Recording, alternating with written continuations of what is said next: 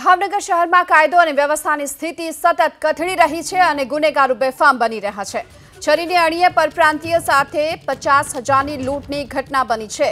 એક બાઇક ચાલકે પચાસ હજારની લૂંટ ચલાવી ફરાર થયો છે. કુલદીપ ચૌહાણ નામના પરપ્રાંતીય યુવાન પાસેથી આ લૂંટ ચલાવી બાઇક ચાલક ફરાર થયો.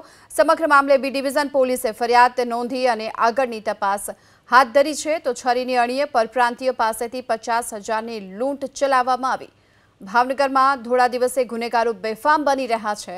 છરીની અણીએ અને પરપ્રાંતીયને લૂંટી લેવામાં આવ્યો, જો કે બાઇક પર આવેલો આ શખ્સ પરપ્રાંતીય વ્યક્તિને આંતરી છરી બતાવી તેની પાસેથી પચાસ હજારની લૂંટ ચલાવી ફરાર થઈ ગયો. હાલ તો આ સમગ્ર મામલાને લઈને પોલીસે તપાસ હાથ ધરી છે. બી ડિવિઝન પોલીસે ફરિયાદ નોંધી અને સમગ્ર મામલાને લઈ તપાસ હાથ ધરી છે. કુલદીપ ચૌહાણ નામનો વ્યક્તિ ખરીદી કરવા માટે જ્યારે જઈ રહ્યો હતો, આ દરમિયાન આ ઘટના બની છે. જો કે હાલમાં તો પોલીસે આ સમગ્ર લૂંટની ઘટનાને લઈ તપાસ હાથ ધરી છે.